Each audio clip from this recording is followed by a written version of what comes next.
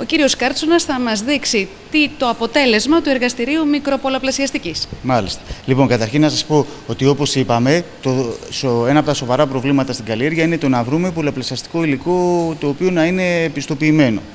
Και τι κάνουμε εδώ, ε, στο εργαστήριο εδώ του μικροπολοπλασιασμού χρησιμοποιούμε από ένα μικρό κομματάκι από το φυτό, οπότε είναι ένας τρόπος αγενούς όπως λέμε πολλοπλασιασμού, δηλαδή δεν έχουμε διασταύρωση γενναιών, οπότε είμαστε 100% σίγουροι ότι τα φυτά που θα προκύψουν είναι ακριβώς όμοια με το μητρικό φυτό. Είναι πανομοιότυπα όπως λέμε.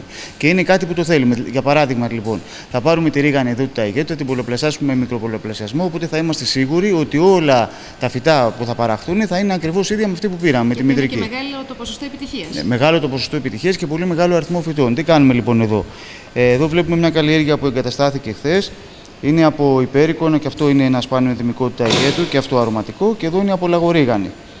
Ε, τι βλέπουμε λοιπόν εδώ, ότι τοποθετώντας ένα μικρό έκφυτο, ένα λοιπόν, μικρό κομματάκι από ένα φυτό, για τη, από τη λαγορίγανη για παράδειγμα, σε ένα θρεπτικό υπόστρωμα, σε ασεπτικές συνθήκες για να μην έχουμε επαφή με μικρόβια, ε, μετά από μερικές μέρες αυτό μεγαλώνει και έχουμε αυτήν εδώ την εικόνα. Δηλαδή το φυτό ε, μεγαλώνει μέσα εδώ και αυτό άμα γίνει αρκετές φορές μπορούμε σε ένα εξάμεινο περίπου να έχουμε παράξει αρκετές χιλιάδες φυτά πανομοιότυπα ακριβώς με το μετρικό από το οποίο ξεκινήσαμε. Αυτό είναι το σημαντικό της μεθόδου.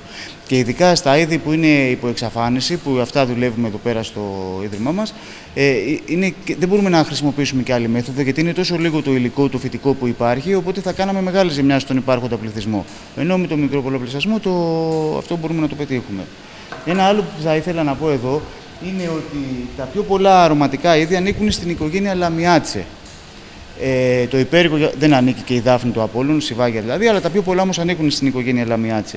Η οικογένεια Λαμιάτσε έχει ορισμένα χαρακτηριστικά βοτανικά, τα οποία είναι πολύ εύκολο να τα δει κάποιος και να τοποθετήσει ένα φυτό, να καταλάβει δηλαδή ότι βρίσκεται στην οικογένεια αυτή. Το πιο κοινό χαρακτηριστικό που έχουν τα Λαμιάτσε είναι ότι έχουν τετράγωνο βλαστό. Δηλαδή, αν δούμε εδώ, ε, αυτό είναι ένας βλαστός από διόσμο, ο βλαστός είναι τετράγωνος.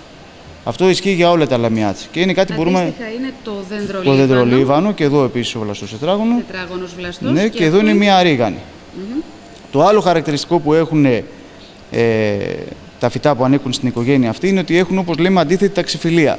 Δηλαδή, ε, εάν δείξουμε εδώ τα φύλλα τους, βγαίνει ένα δεξιά και ένα αριστερά, ε, αντίθετα το ένα από το άλλο. Δεν έχουν όλα τα είδη τέτοια ταξιφιλία. Και το άλλο χαρακτηριστικό είναι ότι αν τρίψουμε τα φύλλα ή, το, ή τους βλαστούς, ε, μένει μια ευχάριστη μυρωδιά χαρακτηριστική του κάθε είδους στο χέρι μας. Εντάξει, αυτά είναι τρία χαρακτηριστικά, τα οποία αν ένα φυτό τα έχει, τότε είμαστε σίγουροι ότι ανήκει στην οικογένεια Λαμιάτση. Πάμε να συνεχίσουμε λοιπόν την ξενάγεσή μας. Θάλαμος νηματικής ροής. Φυσικά συμβάλλει και αυτό στη λειτουργία του εργαστηρίου μικροπολαπλασιασμού. Κοντά μας μαζί με τον κύριο Κάρτσονα είναι ο κύριος Σταύρος Καράς, ειδικό τεχνικό εργαστηριακό προσωπικό, εδώ λοιπόν. Ναι. Ποιος από τους δύο θα μας ενημερώσει για τους θαλάμους; Ο κύριος Κάρτσονα. Ναι, ναι. Ο θάλαμος νηματική ροής είναι ο χώρος όπου εγκαθιστούμε στο υπόστρωμα που είδαμε πριν τα φυτά στο μικροπολοπλασιασμό. Και αυτός ο χώρος, όταν δουλεύει αυτή εδώ ο θάλαμος που βλέπουμε, η τράπεζα, όπως τη λένε τα παιδιά εδώ χαρακτηριστικά, είναι καθαρός από μικρόβια. Και πώς γίνεται αυτό, με έναν εντελώς φυσικό τρόπο. Υπάρχει, όπως βλέπουμε στο πίσω μέρος, ένα φίλτρο από όπου συνεχώς σπρώχνει αέρα προς τα έξω. Οπότε διώχνει όλα τα μικρόβια προς τα έξω. Και ο χώρος αυτός, μόνο με αυτή την κίνηση του αέρα, είναι καθαρός από μικρόβια και μπορούμε να δουλέψουμε και να βάλουμε τα φυτά στο υπόστρωμα εντός αυτού του χώρου.